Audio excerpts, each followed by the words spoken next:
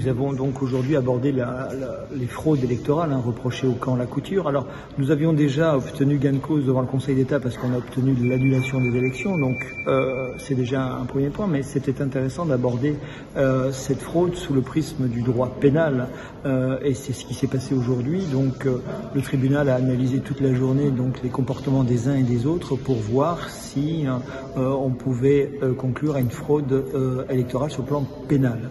voilà, ça c'est le, premier point. Le deuxième point, comme je l'ai souligné, euh, eh bien, c'est en quelque sorte une tentative de vol hein, des élections qui a été opérée par le clan La Couture au préjudice de la démocratie, au préjudice donc des citoyens des temps salés.